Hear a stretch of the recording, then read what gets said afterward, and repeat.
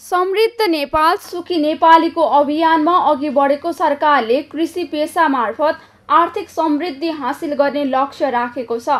यसका लागि किसानलाई प्रोत्साहन र अनुदान दिनुपर्ने निष्कर्षसहित किसानलाई कृषिमै सबल र आत्मनिर्भर बनाउन अनुदान सहयोगको कार्यक्रम भए पनि पहुँच र शक्तिका आधारमा मात्र अनुदान रकम बाँडिएको किसानको गुनासो छ। सरकारले रासायनिक मल खाद बिउ बिजनको उचित व्यवस्थापन तथा बाली लक्षित र बिमाका लागि अनुदान दिने व्यवस्था भए पनि वास्तविक किसानले कुनै सहयोग पाएका छैनन्।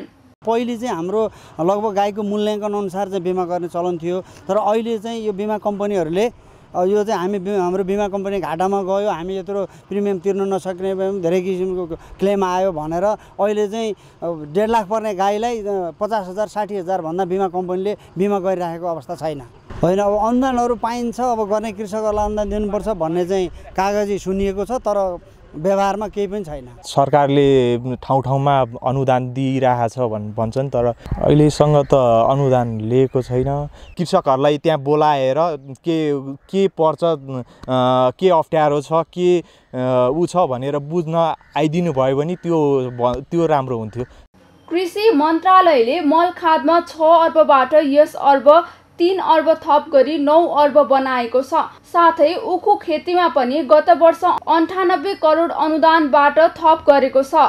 यसरी गत वर्ष विनियोजन भएको रकमभन्दा यस वर्ष अनुदानमा साढे चार अर्ब वृद्धि भएको छ। तर पनि मन्त्रालयले अनुदान सबैको पहुँचमा पुगेको दावी गरेको छ।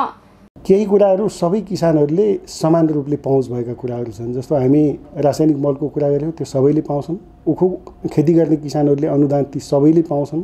त्यस्तै गरेर हामी खोपको अभियानमूलक कार्यक्रम सञ्चालन गर्छौँ त्यो सबै किसानहरूले पाउँछन्। भने केही सेवाहरू चाहिँ आयोजना लागू भएका जिल्लामा र त्यो जिल्लामा पनि लक्षित समुदायले मात्रै पाउँछ। बिमाको प्रिमियमको कुरा छ त्यो सबै किसानले पाउनुहुन्छ। त्यस्तै गरेर नेपाल राष्ट्र ब्याङ्कले कृषि क्षेत्रमा लगानी गर्ने वाणिज्य ब्याङ्कहरू मार्फत किसानहरूलाई सहुलियत ब्याज दरको पनि घोषणा गरेको छ। कृषि प्रधान देश नेपालमा खेतीपातीप्रति युवा पुस्तामा वितृष्णा जागेको बेला अनुदान सहितका कार्यक्रम ल्याएर कृषिप्रति आकर्षित बनाउनु आवश्यक छ। यसका लागि वास्तविक किसानले राहत पाउने गरी किसान मैत्री अभियान ल्याउनु आवश्यक छ।